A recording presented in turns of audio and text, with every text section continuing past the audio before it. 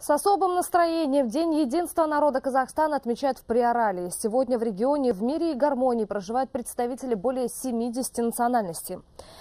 О том, как казалардинцы отмечают День дружбы, согласия и понимания, расскажет моя коллега Райхан Тажибаева. Райхан, добрый день. Для жителей области обещают грандиозную развлекательную программу. Так ли это? Спасибо, Динара. Да, это действительно так. Буквально вчера казардинцы праздновали победу Ельбасы на президентских выборах, ну а сегодня одной большой дружной семьей отмечают праздник единства и согласия.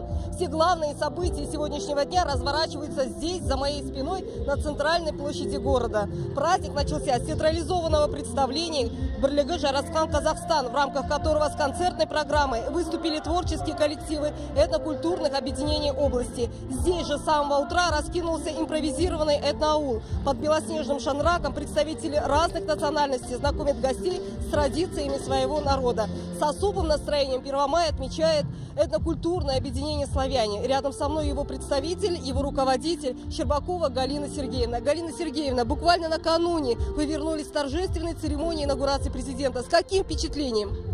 Я переполнена огромной радостью, потому что не каждому выпадает такая честь присутствовать на инаугурации президента. Мы живем в прекрасной, замечательной стране, где проживают более 130 представителей национальности. И ни в одном государстве нет такого уникального органа, как Ассамблея народа Казахстана, которую возглавляет наш президент. Поэтому, наверное, у нас мир, дружба и согласие. И вот, когда мы были на инаугурации, он еще поставил перед нами много новых задач, где решаются 100 шагов выполнения нашего, построения нашего государства. И мы должны должны теперь это воплощать, и мы будем обязательно воплощать в жизнь.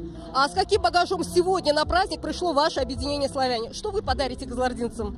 Ну, сегодня такая прекрасная, замечательная погода, и мы пришли с музыкальными национальными нашими инструментами. Мы хотим порадовать всех жителей нашего города нашими музыкальными инструментами национальными, как гармошка, баян, мандолина, э, трещотки, очень много других разных мелких музыкальных инструментов. Мы будем петь и радовать наших жителей. Спасибо большое, с праздником вас!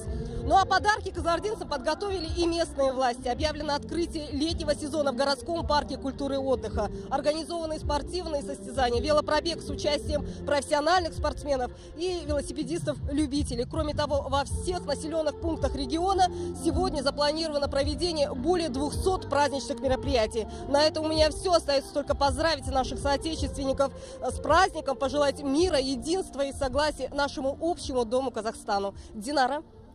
Спасибо большое и вас с праздником. На связи со студией была наш корреспондент из Казаларды Райхан Тажибаева.